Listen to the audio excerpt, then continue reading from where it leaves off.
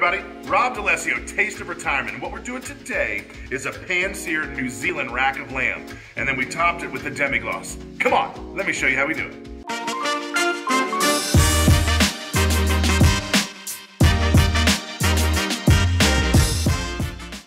Pan-seared lamb chops with a demi-glace that came from Espagnole sauce. Now, if you look here, we filmed a video that had all five of the mother sauces on it, but Espagnole's on there. It's awesome. What we did is we took that sauce we reduced it down, kind of like a demi-glace, but normally you would you would strain that off and have a really glossy finish to it.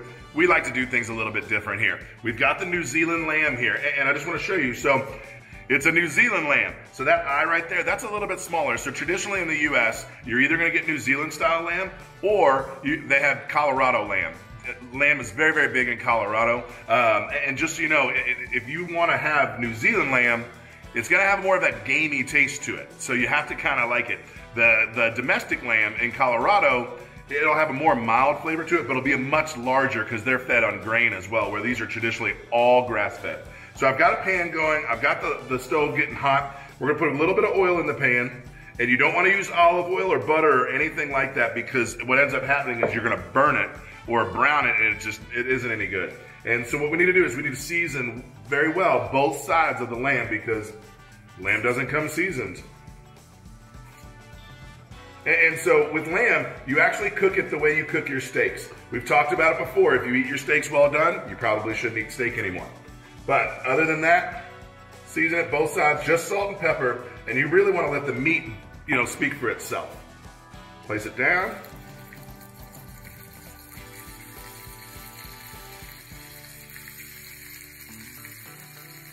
So we're gonna go with about three or four minutes on each side.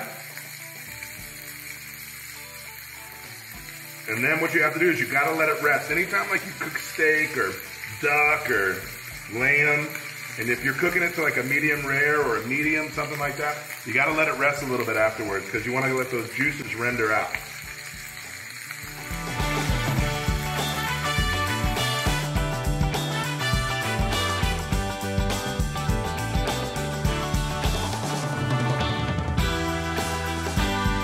All right, so obviously starting to get a little bit of smoke. We've got beautiful color on here. We're just gonna flip them over, Get some color on the other side, and we're gonna be all done.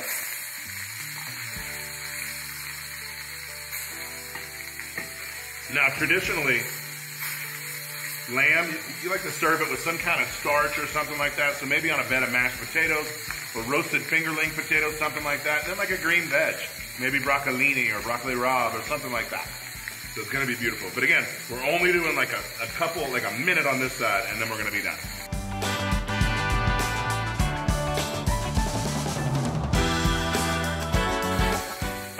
So we're done. So we're just gonna get them out of the pan. I'm gonna go ahead and turn the, the, the heat off. Now, when you're grilling lamb, or if you decide to roast the lamb rack, like as a whole rack in the oven, you, would want to put foil around the end of the bones.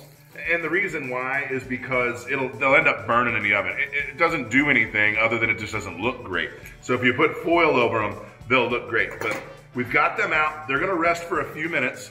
And then what we do here is we just sauce. So we take that reduction,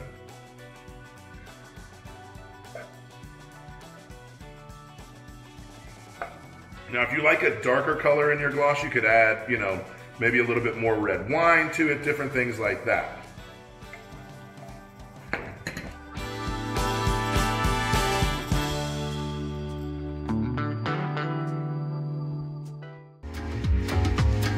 Have it.